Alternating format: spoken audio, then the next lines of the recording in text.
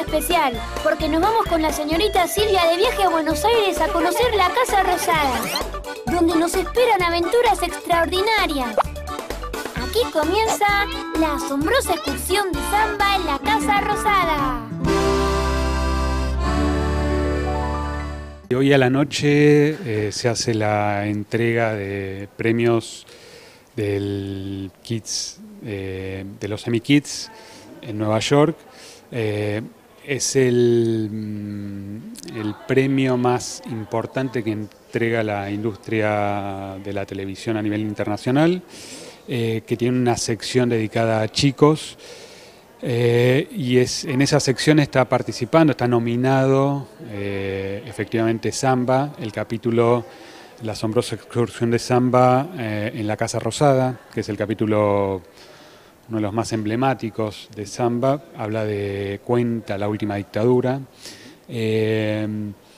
Lo nominaron junto a otros tres programas, uno de Gran Bretaña, uno de Francia y uno de Pakistán. Se juntan un buen programa y una temática muy nuestra, eh, con lo cual digo, creemos que es de lo más indicado para participar de un festival de este nivel y de este prestigio.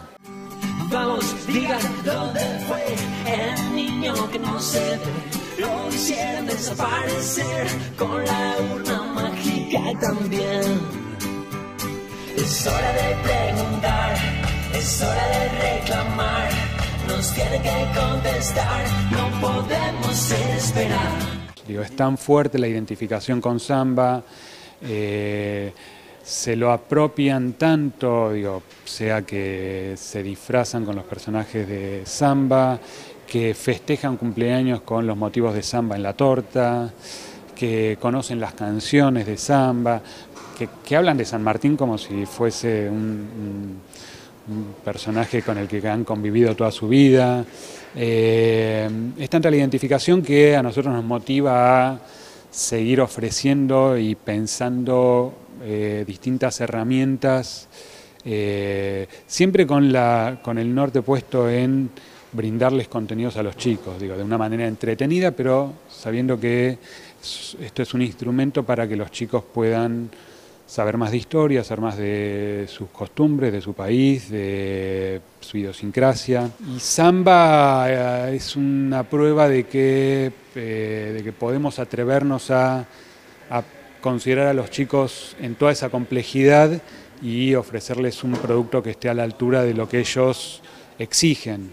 Los chicos, digo, tienen eh, un modo de, integrarse en la sociedad que es muy complejo, digo, son actores sociales con intereses, con demandas, con miedos, con inquietudes, y hay que ser capaces de dar cuenta de todo, todo eso que piden o todo eso que exigen. Y creemos que, digo, nosotros estamos tratando de hacerlo y creemos que no, no necesariamente los que nos critican están a la altura de lo que los propios chicos piden o demandan. Hasta el próximo capítulo de Samba en una nueva dictadura. No, nunca más va a haber dictaduras en la Argentina. Ahora la gente sabe que es mejor vivir en democracia y no va a permitir que vuelva a pasar lo mismo. ¡Demonios! ¡Perdimos!